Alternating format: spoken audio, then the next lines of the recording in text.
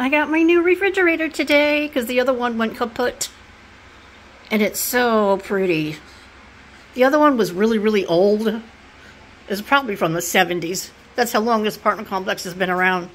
But it is so pretty. The other one was ugly, you know, white. No designs, no nothing. And look how pretty this is. Isn't that pretty? I went through all my food and I threw out a bunch of stuff.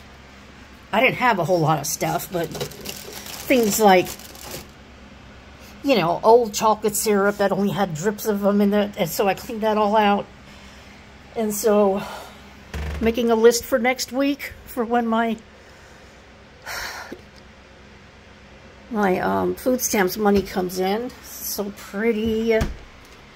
And I, I, I got this idea in my other apartment to put my, the utensils that I use the most right here because those are the ones I use the most.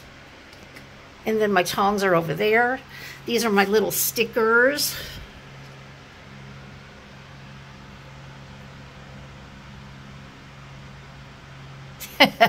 so cute.